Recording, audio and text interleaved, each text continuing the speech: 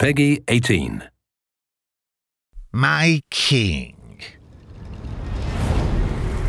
Our steward rules a populace who call themselves the Tribe of the Dawn.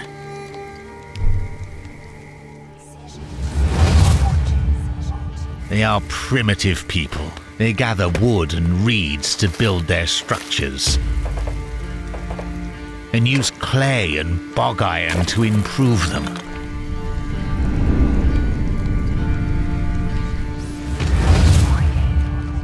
Like all simple folk, they're compelled by survival to leave the comfort of the village.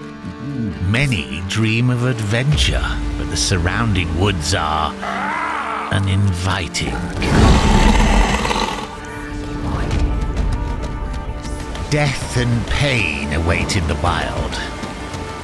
Evil creeps and crawls through the dark recesses of their minds.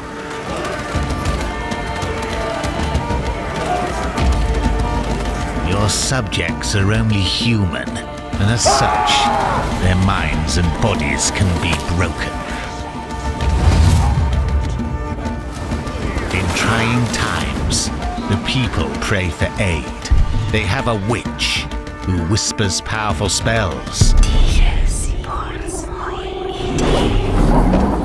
blessing the tribespeople or cursing their foes.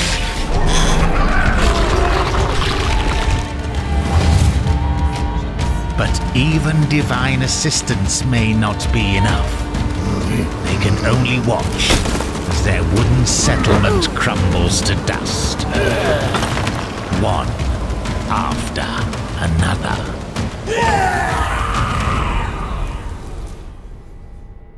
This settlement you speak of, what do they call it?